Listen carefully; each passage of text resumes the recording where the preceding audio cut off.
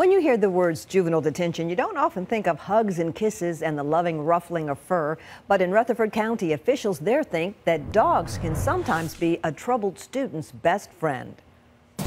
All right, guys, come on in. Here at the Rutherford County Juvenile Detention Center, Hi, guys. it's time for these young men to take a break from class When you first meet a person, you can tell if they're friendly. and get ready for a different kind of lesson. My name is Susan Lucas, and I come here to share with you my dogs. Those dogs are Mika, Mika, come. Trixie, and Teddy, They're Shetland sheepdogs. They're herding dogs. all members of Pet Partners. And it was introduced to kind of release some anxiety and kind of counteract our no touch policy. They communicate with their tail the same way we communicate with our face. Trainer Susan Lucas is here to teach the students Even though it's wagging, it's to the left. It's like, mm, it's a negative thing. how to do just that. Come on, let's go say hello. Your dog has to rely on you and trust you. You all are a group, and you're going to learn how to support each other. One finger is all it takes. There you go.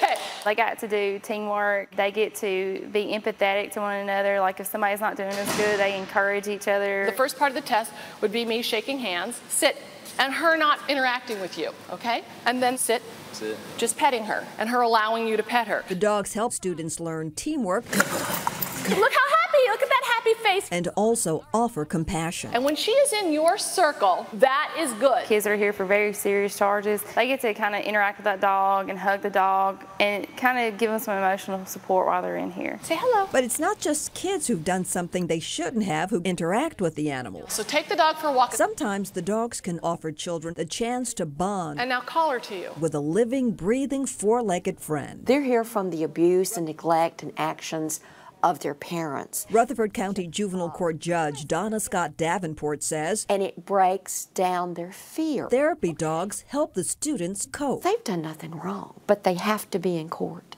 Sometimes they have to testify. And having the love of that dog, Now have her sit, it is a huge difference for our children to not be so terrified. pet him, and see what happens. But the young men and women whose actions have sent them here There it goes. learning another lesson. no, no, I would like you to do this. Teaching these dogs something they may not have even learned yet Why did she listen to you? to follow the rules. You changed. That's what the judge has been trying to tell me I'm going to do. My parents have been telling me that's what I'm going to do. Yeah, that's awesome. And the light bulb goes on. that's my favorite part. And that's all we want. All right, tell her how good she is and go give her a cookie. Say, let's go get a cookie. The successful program has been going on in Rutherford County for about a year and a half.